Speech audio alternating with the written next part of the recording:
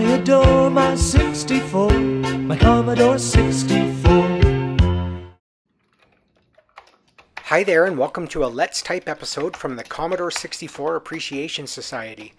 This is a series where I reach back into the past and type out a program from an old computer magazine, and of course, once it's done, I play it.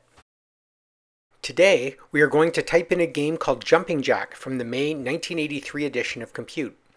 Earlier, we typed in another game from this issue, Checkers, which is quite good. Check out the video if you're interested. Jumping Jack was written by Paul Burger and is a platformer where we take control of a guy named Jack. For some reason, Jack finds himself at the top of a large structure that he needs to get to the bottom of. Unfortunately, the structure is unstable and holes keep appearing on the platform, so he needs to jump them. That's it. That's the plot. There is just over one page of code to type in for Jumping Jack. Interestingly, they lead with the VIC-20 version, which makes me think that it was initially written for that computer and then ported to the 64. This probably means that we're in for a very simple game, as the VIC-20 came out a few years earlier and is much less powerful. Nonetheless, the article says that Jumping Jack makes full use of our computer's color and sound capabilities, so let's get typing and see what we get. I'm a few minutes into typing and you can see my setup here. I use the Vice 64 emulator on my Mac and I'm able to conveniently position the code I need to type.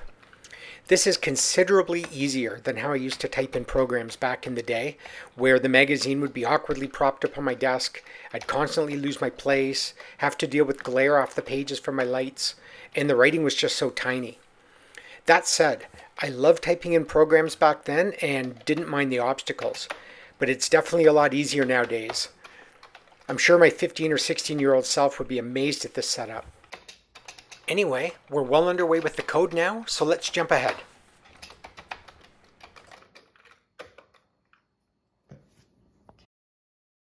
About an hour has passed and the code has been fully typed in. You can see it here when I type in the list command. It's not a particularly large program. On disk, it uses 17 blocks of storage, which roughly equates to 9K. You could fit 59 million of these programs on a 1 terabyte drive.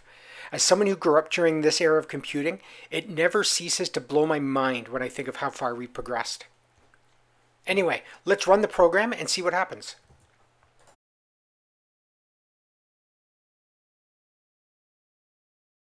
We need to wait a few seconds for the game to initialize its graphics.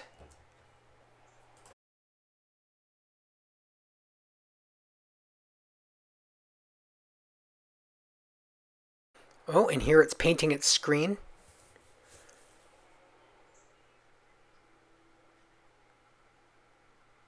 Oh, and a syntax error in line 130. Errors like this are expected. Let's just take a look at that line and see if we can fix it. And that's funny. Jumping Jack doesn't use sprites. Instead, its graphics come from altering the C64's character set. For example, you can see that some of the characters here have been replaced by graphics from the game. This obviously makes reading and debugging pretty tough, so I'll need to reset and do some debugging with the normal character sets.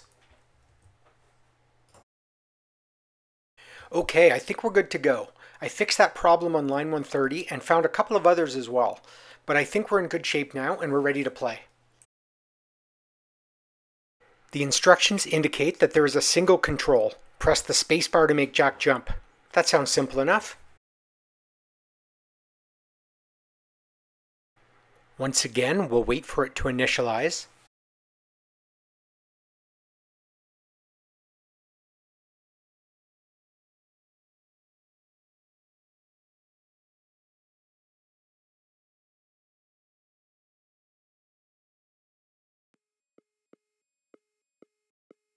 So that's Jack running across the top platform. The animation is pretty good, even though he turns off for a frame in the middle. And huh, did he just fall through the ladder? That doesn't seem right.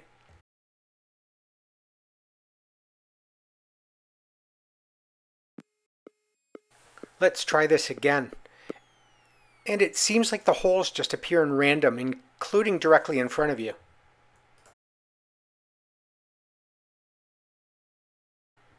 as an aside, there are sounds, but they're very simple. They're just these little pops as he's running.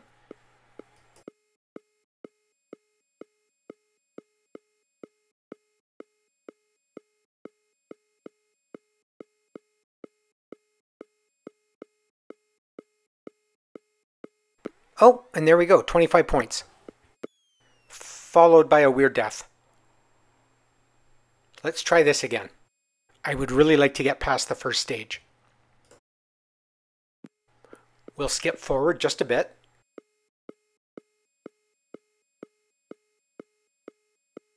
Hmm, I jumped that with no points, where other times I get 25.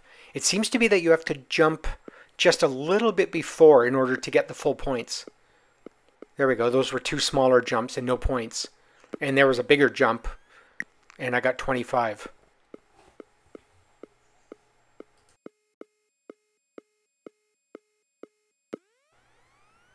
And not to jinx myself here, but I'm getting pretty close to finishing the stage. Jump that one, 25.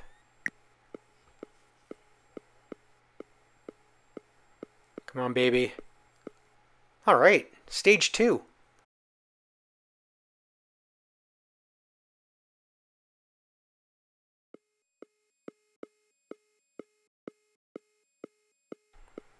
And we'll jump. Nice, 75.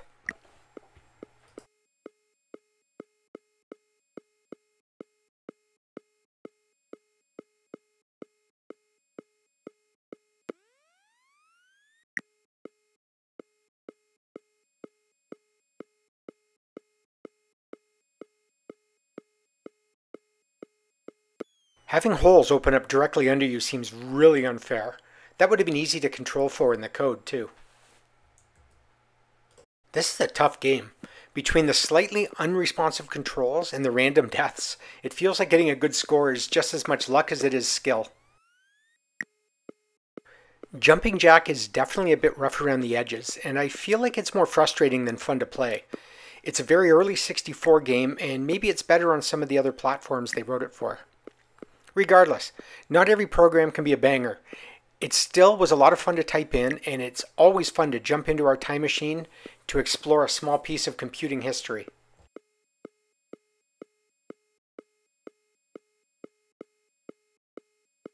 I feel like I'm having a pretty good game here, so I want to play this out and see how many points I can ultimately get. Those 75 point jumps were definitely helpful.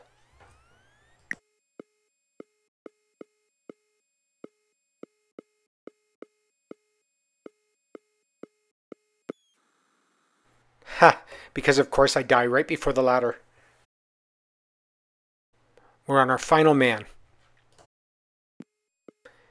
And there we go. It's fitting that the game ended in a random hole. I'll take the 375 score though.